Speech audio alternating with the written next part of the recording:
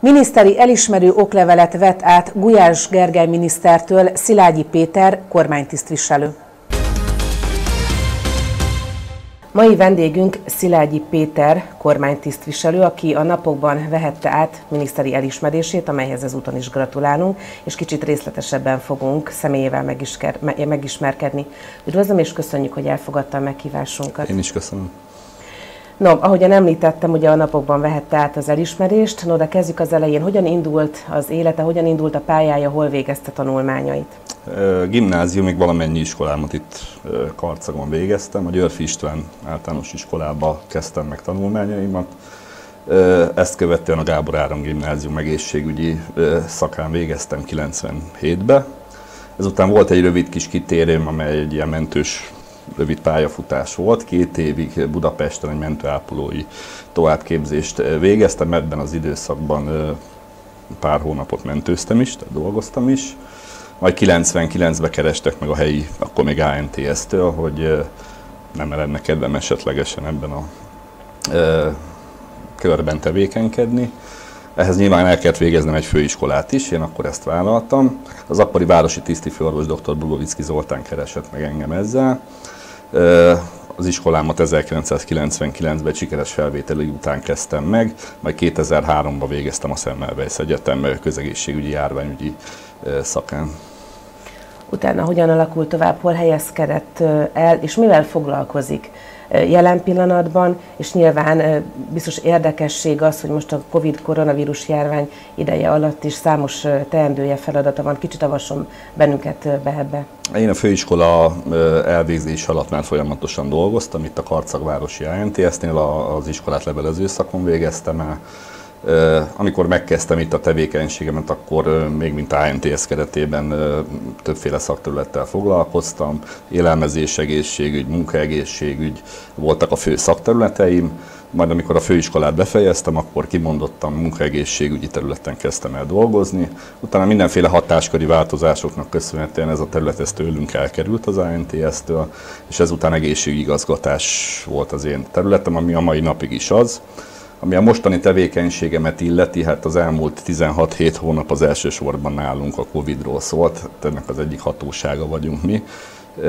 Mind az oltás szervezésben, mind a, a járvány elleni küzdelemben dolgoznunk kellett. Gyakorlatilag valamennyi kollégám ebben a járványügyi tevékenységben dolgozott. A koronavírus járvány ideje alatt mi volt az ön feladata? Alapvetően koordinálni kellett a hatóságunknak, a járási hivatal népegészségügyi osztályának a tevékenységét, a feladataink amellett, hogy a, a járvány leküzdésében nagyon fontos szerepünk volt, nyilván fel kellett deríteni a háziorvosok segítségével a fertőző betegeket, karanténba helyezés, biztos mindenki hallott erről, ez a mi hatósági feladatunk volt. Emellett januártól, amikor megjelent Magyarországon is a koronavírus elleni oltóanyag, el kellett, szer, el kellett kezdenünk szervezni az oltásokat, ezzel kapcsolatosan a házi orvosokkal folyamatosan tartani kellett a kapcsolatot, fel kellett mérni az oltásigényeket, ennek megfelelő mennyiségben az oltóanyagokat folyamatosan biztosítani kellett a házi orvosokhoz, ennek a logisztikáját kellett megszervezni. Hát gyakorlatilag ennyi. Ez még most is jelenleg is zajlik. Már most elsősorban második körös oltásokkal foglalkozunk. Szerencsére Magyarországon már jóval 5 millió fölött van a beoltottak száma.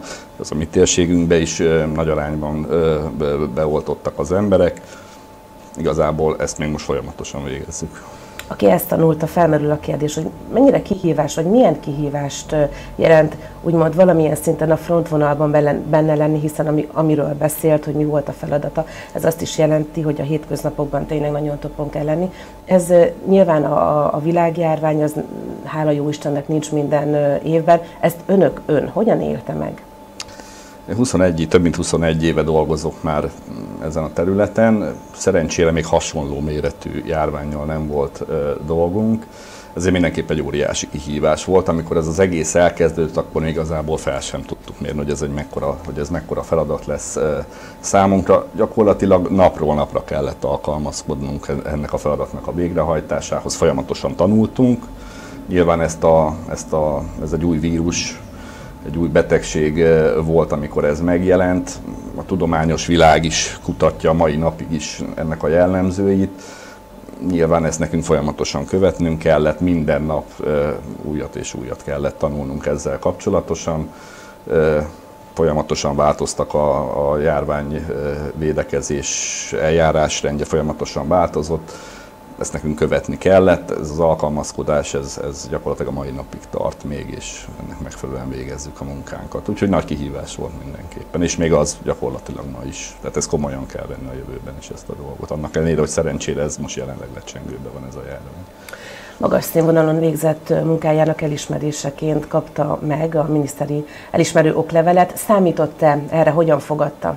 Nem számítottam, meglepetés volt. Egy e-mailt kaptam a minisztériumból de nem számítottam rá. Hogyan történt ennek az elismerésnek az átvétele? Meséljen egy kicsit a háttéréről. Ez múlt hét pénteken volt a, a elismerések átadása. Ezt március 15-e alkalmából kaptam, de nyilván a járvány miatt ez az átadás akkor elmaradt. Ezt most pótolták. Budapesten volt az átadó. Gulyás Gergely miniszter úr adta át az elismeréseket. Arról már ejtettünk szót, hogy mivel telnek a hétköznapok, mivel foglalkozik. Mik a további tervek, elképzelések, hiszen azért ez az eddigi pályafutása ezzel a miniszteri elismerő oklevéllel lezárult, hiszen ez egy hatalmas dolog, de hát még bőven vannak tervek, elképzelések, úgy gondolom. Hát egyelőre továbbra is a koronavírus elleni védekezés teszi ki a, a hétköznapjainkat.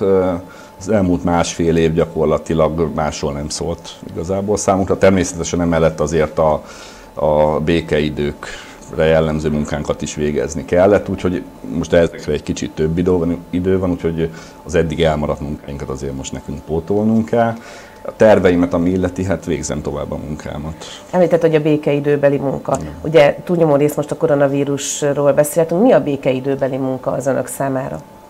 Számos szakterületet ellátunk. Én egészségügyi igazgatást végzek, ami a különböző orvosi rendelőknek a szakmai felügyeletét jelenti, engedélyezését, ellenőrzését, illetve hát az orvosoknak bármilyen ilyen hatósági mm, problémájuk van, akkor hozzánk szoktak fordulni.